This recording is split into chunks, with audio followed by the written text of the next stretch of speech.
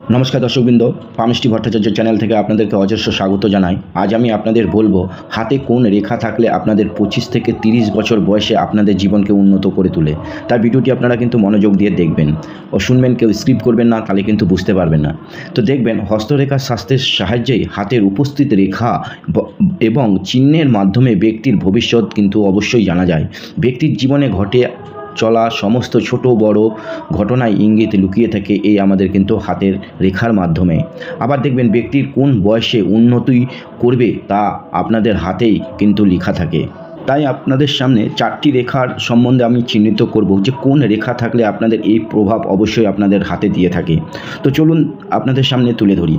দেখেন এটাকে বলা হয় আমাদের জীবন রেখা। এই জীবন রেখাটা যাদের দেখবেন সুন্দর, সুগঠিত এবং গোল হয়ে যায় কোনো কাটাকুটি বা জব বা তিল চিহ্ন না থাকে, আর এই শুক্র পর্বতে যদি দেখবেন কোনো ব্রাউন কালারের তিল থাকে, তবে সেই ক্ষেত্রে সেই ব্যক্তির জীবনে দেখবেন পঁচিশ থেকে তিরিশ বছরের পরে এরা উন্নতি অবশ্যই করে থাকে।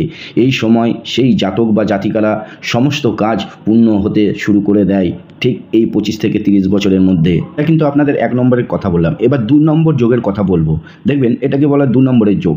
দেখবেন আপনাদের এই আঙ্গুলগুলি দেখবেন সমান ও সুগঠিত আছে কিনা। যদি দেখবেন প্রত্যেকটা আঙ্গুল আপনাদের সমান ও সুগঠিত থাকে, তবেও সেক্ষেত্রে আপনারা জীবনে কিন্তু ধনী ব্যক্তি অবশ্যই হয়ে থাকবেন। আর এই হাতের যদি কালারটা আপনাদের ঠিক পিঙ্কেস কালার হয়, অর্থাৎ গোলাপি বর্ণের হয়ে থাকে, তবে সই- সেই ক্ষেত্রেও কিন্তু আপনারা জীবনে কিন্তু ধন সম্পত্তির মালিক অবশ্যই হয়ে থাকবেন।